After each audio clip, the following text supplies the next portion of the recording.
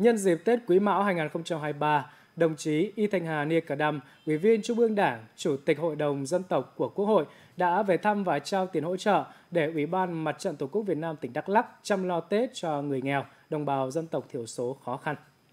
Tham dự lễ tiếp nhận có đồng chí Isagri Nekernâng, Chủ tịch Ủy ban Mặt trận Tổ quốc Việt Nam tỉnh Đắk Lắk.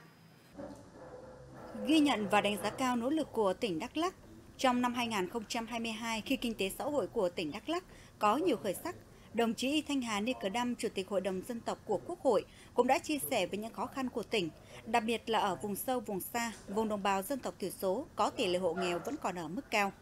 Chủ tịch Hội đồng Dân tộc của Quốc hội mong muốn tỉnh quan tâm hơn nữa các gia đình chính sách hộ nghèo, hộ dân tộc thiểu số có hoàn cảnh khó khăn, tạo điều kiện để mỗi gia đình phấn đấu phát huy nội lực, vươn lên trong cuộc sống. Trên cơ sở vận động từ các doanh nghiệp và các nhà hảo tâm, Chủ tịch Hội đồng Dân tộc của Quốc hội đã chuyển tới Ủy ban Mặt trận Tổ quốc Việt Nam tỉnh Đắk Lắk 400 triệu đồng để chăm lo Tết cho người nghèo, đồng bào dân tộc thiểu số có hoàn cảnh khó khăn trên địa bàn tỉnh, góp phần giúp người dân đón Tết ấm áp vui tươi. Tiếp nhận số tiền ủng hộ, Chủ tịch Ủy ban Mặt trận Tổ quốc Việt Nam tỉnh Isangri Nekernâng cảm ơn Chủ tịch Hội đồng Dân tộc của Quốc hội Y Thanh Hà Nikerdam và các doanh nghiệp nhà hảo tâm, khẳng định sự chung tay góp sức của các cơ quan trung ương, nhà hảo tâm, doanh nghiệp là nguồn lực quan trọng cho công tác chăm lo cho hộ nghèo, gia đình chính sách, hộ đồng bào dân tộc thiểu số của tỉnh Đắk Lắk.